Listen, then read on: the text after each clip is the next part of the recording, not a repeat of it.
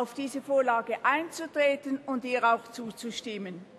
Es ist eine kleine Gesetzesänderung, aber mit großer Wirkung, sowohl im Interesse der Patientinnen und Patienten wie auch der Stärkung der Hausarztmedizin als Eckpfeiler unserer Gesundheitsversorgung. Wirtschaftlich, zweckmäßig und wirksam sollen ärztliche Leistungen sein. Eine unbestrittene Anforderung des KVGs. Nur wer definiert, was wirtschaftlich ist und wie? Der Bund tut es nicht. Wer denn definiert die Wirtschaftlichkeit einer ärztlichen Behandlung? Und wie, nach welcher Methode kontrolliert sich diese seit 1996 nach wie vor nicht definierte Wirtschaftlichkeit und deren Indikatoren. Der Bund hat diese Aufgabe delegiert. Die Definition, wie eine ärztliche Leistung sein muss, um sie als wirtschaftlich zu anerkennen, und auch die Art der Prüfmethode.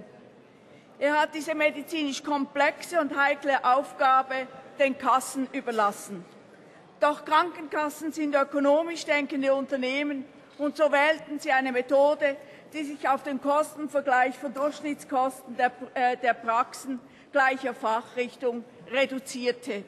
Auf Druck der Leistungserbringer wird seit 2005 der Alters- und Geschlechtsunterschied in der Patientenstruktur pro Praxis berücksichtigt. Doch Unterschiede dieser Art begründen nur drei Prozent der Praxiskosten.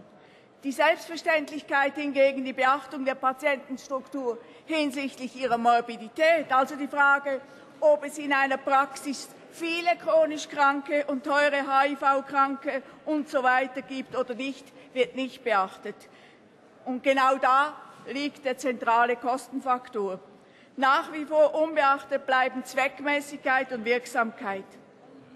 So kann es sein, dass zwar teure, aber zweckmäßige und die Heilungsdauer verkürzende Leistungen meines Erachtens zu Unrecht, fachlich auch zu Unrecht, als Überärztung von den Kassen geahndet werden. Ärztinnen und Ärzten, die sogenannt überarzten, kann dann die Vergütung verweigert werden und sie können zu Rückzahlungen verpflichtet werden. So kommt es, und ich habe dazu etliche sehr eindrückliche Schreiben erhalten, so kommt es, dass Patientinnen und Patienten mit komplexen Krankheiten nicht mehr ausreichend behandelt oder einfach abgeschoben werden zu anderen Ärztinnen und Ärzten oder gerade ins Spital. Es kann aber nicht das Ziel der Wirtschaftlichkeitsprüfung sein, dass letztlich die Patientinnen und Patienten, die Gelackmeierten sind oder Kranke und Kosten ins Spital abgeschoben werden. Die Wirtschaftlichkeitsprüfung muss fachlich verbessert werden. Sie ist morbiditätskorreliert, risikoadjustiert zu definieren. Dies im Interesse der Kranken und um der Qualität der Hausarztmedizin willen.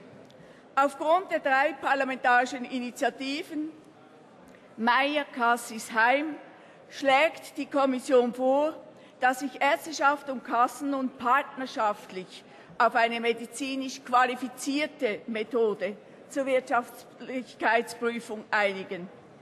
Das Problem ist also bekannt, schon lange, die Lösungen für Verbesserungen auch. Sie sind sowohl aus Patientensicht wie auch zur Sicherung der guten hausärztlichen Versorgung unabdingbar. Sie sind dringend. Und die SP-Fraktion empfiehlt deshalb Ihnen, dem Rat, erstens den Gesetzesentwurf anzunehmen und zweitens in den Übergangsbestimmungen der Kommission zu folgen und die Frist für eine bessere Lösung auf zwölf Monate festzusetzen. Ich bitte Sie also um Eintreten und Zustimmung zur Vorlage.